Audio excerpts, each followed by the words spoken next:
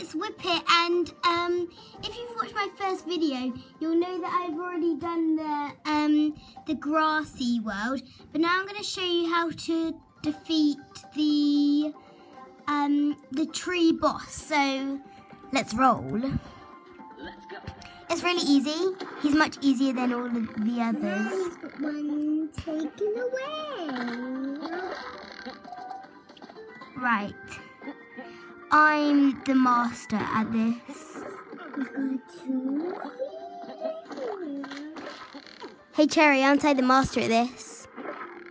He's got two. He's got two left. Oh yeah, and I've only got um I've got three hearts left, but he's only got he's only got one heart left, so come here, you silly person. I wanted to call him a timber crop timber grot, but that's what I am. Right, so that was just a quick tutorial of how to kill the boss on um the grassy world. Right, um, we'll see